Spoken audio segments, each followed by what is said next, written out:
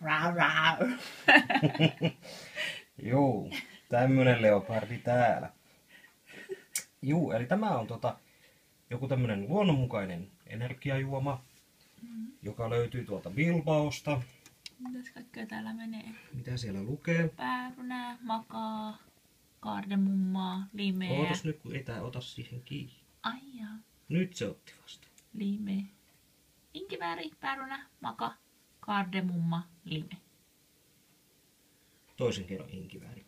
No ei, kun se oli Silloin sen... mä oon tuplasti Se siinä. oli edellisen viimeinen.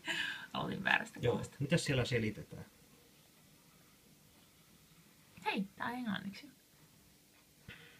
Joo, vitamiineja on. Joo. Luonnollinen. Missä se on valmistettu?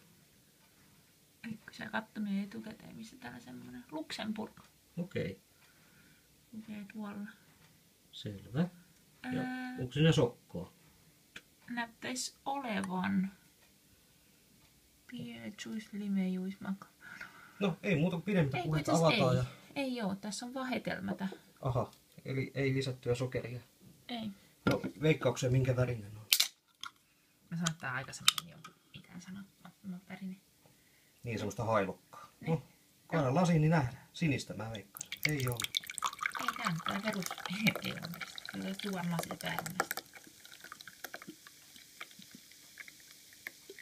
Joo. No, maista sä sit lasista, niin mä maistan ja haistan tästä tölkistä. Haiseepas pahalta. No nyt on sellainen vähän niin kuin pilaantuneen, pilaantuneen tuota noin päärynämehun maku Ei, ja tää, on, haju. tää maistuu tota noin, niin erittäin sitruunaiselta simalta. Kyllä, tässä on semmoinen simamainen vivahde ja semmoinen sameus. Mm. Joo, Joo, simalta se maistuu. Kyllä. Siihen voisi pistää vähän rusinaa. Et ootte näitä tämmöisiä jännempiä kaupan simoja maistanut. Ei sitä ihan sitä perus esanssilitkua, vaan semmoista mm. vähän. Niin kyllä tämä aika lähelle pääsee. Tai jos tekee simaa pelkästä sitruunasta, ettei pistä sitä appelsiinia joukkoon. Joo. Mitä saat pisteitä?